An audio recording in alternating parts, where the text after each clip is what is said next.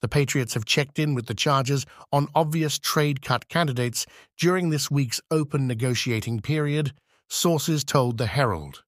The Chargers are more than $25 million over the salary cap, and they must be compliant before the NFL's new league year begins Wednesday at 4 p.m. Their most obvious trade cut candidates are wide receivers Mike Williams and Keenan Allen and edge defenders Joey Bosa and Khalil Mack.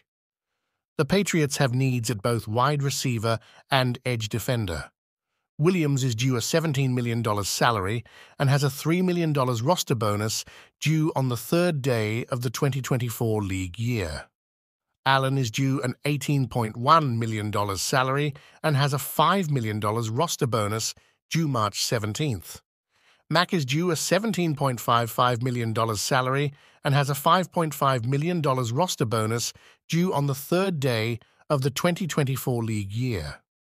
Bosa is due a $17 million salary and has a $7 million roster bonus due on the third day of the 2024 league year. Allen will be 32 in April and is coming off of a 108 catch, one 243 yard season with seven touchdowns in just 13 games. The six time Pro Bowl selection has spent his entire 11 year career with the Chargers and has been a 1 0 0 0 yard receiver six times. Mack had 17 sacks last season with the Chargers.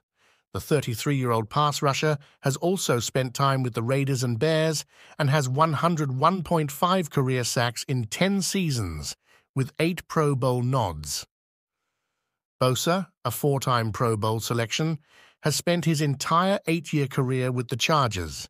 He has 67 career sacks, but has played just 14 games over the last two seasons and will be 29 in July. The Patriots re signed wide receivers Kendrick Bourne and Jalen Reagor and plan to cut DeVante Parker on Wednesday. They also have wide receivers Kawaan Baker Kayshon Boutte, Demario Douglas, TJ Luther, Juju Smith Schuster, and Tyquan Thornton on their 90 man roster and have shown interest in free agent wideout Calvin Ridley. Edge defenders Josh Uche and Anthony Jennings will hit free agency on Wednesday. The team also has Keion White, Deatrich Wise, and Matthew Judon at defensive end outside linebacker.